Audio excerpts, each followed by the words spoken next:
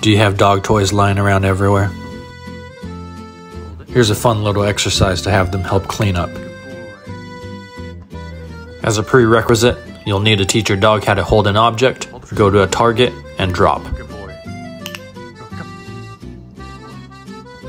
You'll need to teach each of the exercises individually and then chain the commands together. By chaining these three commands, you can ask your pup to hold a toy, bring it to a select location, and then drop it. You can choose to drop it in a bed or maybe a designated basket. It's your choice. Go ahead and cue your dog in each individual step and mark when the chain is complete. You can reward with a treat or praise depending on how your dog is motivated.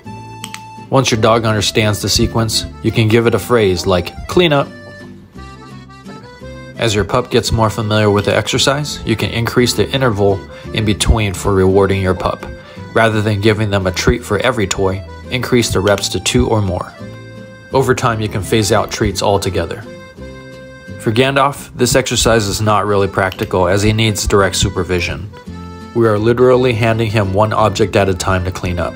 However, it is definitely a fun trick and a crowd pleaser. It has been useful from time to time when we ask him to find an object to bring to us or to place something on his bed. But overall, it's just fun.